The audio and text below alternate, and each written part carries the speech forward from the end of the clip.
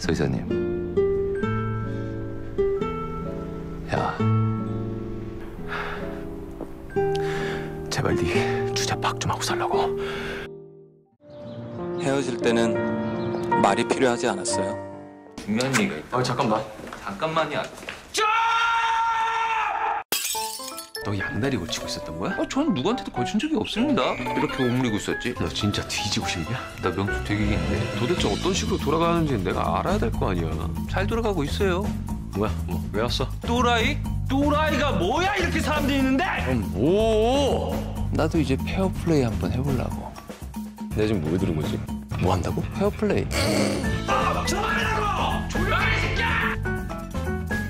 오늘부터 death match라고 지는 쪽이 바로 죽는 거. 나가.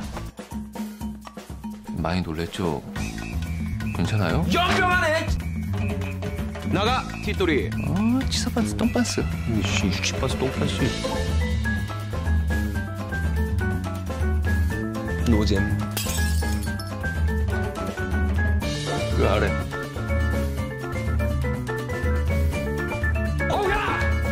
이상해.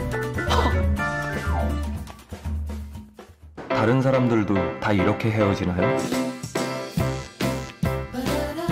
솔직하게 얘기해봐. 나한테 고맙지? 너나 솔직히 좀 얘기해보자.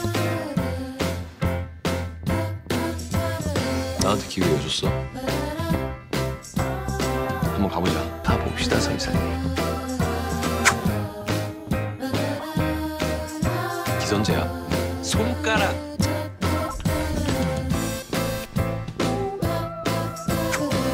어야 그래. 고마워. 고마워. 미치겠어. 고맙다. 고맙다. 몰라 진짜 바보야.